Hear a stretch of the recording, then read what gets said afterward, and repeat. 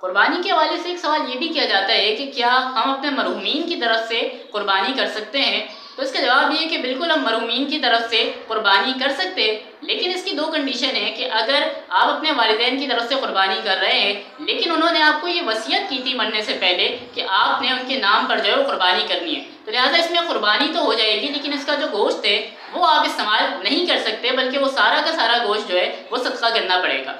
लिहाजा जिस तरह बकिया कुर्बानी में हुक्म ये होता है कि इसके तीन हिस्से किए जाए गोश्त के।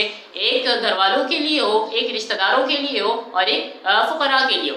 लिहाजा जब आप वसीयत पर अमल कर रहे हैं तो फिर इसमें सारा का सारा गोश्त जो है वो सदका करना होगा, यानी गरीबों में तकसीम करना होगा। और दूसरी सूरत ये है कि अगर वालदेन ने वसीयत तो नहीं की, लेकिन आप अपनी मोहब्बत में इसलिए कुर्बानी करना चाहते हैं ताकि उसका सवाब उनको पहुँच जाए। तो इस सूरत में भी कुर्बानी कर सकते हैं और इस सूरत में आप गोश्त भी इस्तेमाल कर सकते हैं और इसके लिए यही हुक्म होगा कि आप उसके तीन हिस्से करें, एक घर वालों के लिए हो, एक रिश्तेदारों के लिए हो और एक फ़ुकरा में जो है वो तकसीम करें। तो ये दोनों सूरतें जो है बिल्कुल जायज़ है।